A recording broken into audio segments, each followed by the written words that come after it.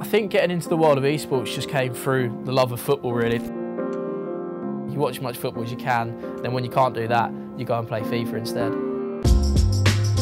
Being able to represent Tottenham Hotspur is massive for me. A team that I've supported since I was a kid.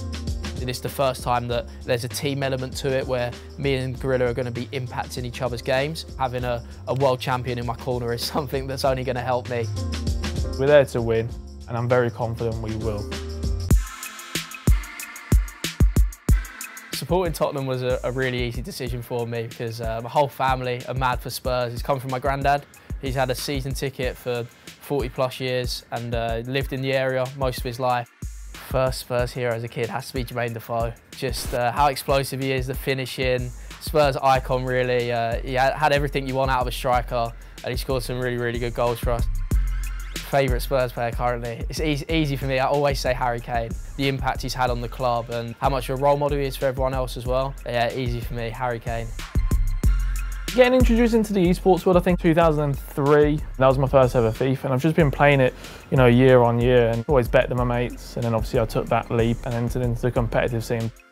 I think there's two moments in my head when I when I realised that I could be a, a, FIFA professional. One was I was playing online and I came across a professional player who reached out to me after the game. It was back on FIFA 17. I beat him on the game and he messaged me saying like, you do realise how good you are. We should definitely get in contact. You should definitely be in the pro scene, which I didn't really realise at the time was a thing. My first LAN tournament in FIFA 17, travelled to Paris, EA flew me out there to play in it, and I finished top six in Europe that day. And I remember coming home to my parents and saying like, to finish top six is not easy at all. I think I've actually got it. I think I can play it at the top level. 2015 heading into 2016 was my first competitive year. Started playing some online tournaments, winning, you know, some money here and there. Qualified for my first in-person tournament LAN event, uh, and I won it. I made a decision just to commit to it. I was 18, 19 at the time, and uh, yeah, I'd say FIFA 16 was the FIFA that kind of made me question what I want to do, and good job I commit to FIFA. It's not normal to go from playing FIFA as a hobby to then playing FIFA for thousands of pounds on a big stage. I think with experience, as I've got older, I've learned to kind of block that out. I don't look too much into the prize money until the tournament's done, and then I'll have a look and say, oh, I've won that amount. But before a tournament, I try not getting too sucked into it. Overall career earnings in FIFA, I think it is on the internet. I think I have, uh, I've looked it up once or twice just to see how accurate it is. Uh, I think as of now, uh, it is public knowledge. I think it's around 170,000, I'd say. Me winning the World Cup obviously comes up in conversation when we're talking about FIFA in general or, you know, my past achievements and stuff like that. And it's kind of like the pinnacle of where you want to be within the FIFA community, FIFA esports scene, because, you know, that's the best tournament you can win as of now. You know, you got the prize money, you got the stage, everyone's watching, and it's the last tournament of the year. You know, you have this build up throughout the year and you want to get to that tournament and you want to win it. The transfer fee, does it put extra pressure on me? I think yes from the outside, but I think I've learned to block that out.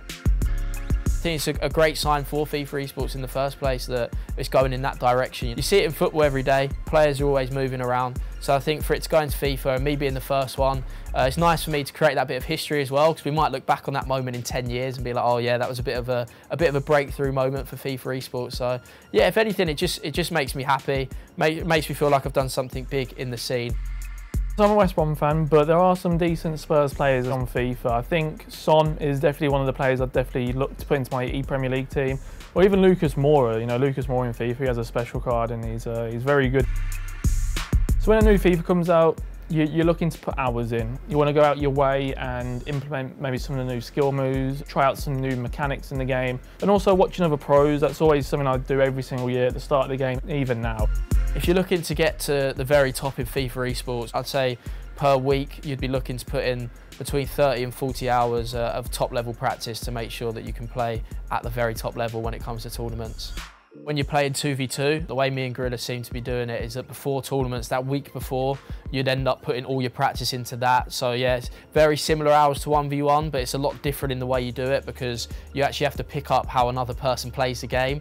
Uh, normally when you're playing the game, you're in your zone and you just focus in on yourself. But then when there's someone else that's also uh, doing a lot of different things to you, you kind of have to bring that together and create a synergy between you two E-Premier League, looking forward to it. I think, yeah, the duo of me and Gorilla, I'm uh, always going to look to win with that. I think, obviously, I finished top four last year, managed to win it with Watford in a previous year as well. So I've had pretty high placements in E-Premier League. It's a tournament that I've got on with, and yeah, whenever I come into it, I'm always looking to win it. Yeah, if I had to predict, I'm going to say Spurs are going to win the E-Premier League we're there to win. It's as simple as that. I'm very confident. I know Tom's very confident as well. And we're going to play our best FIFA. You know, me and Tom have the same mentality. We're there to win, and I'm very confident we will. So watch out.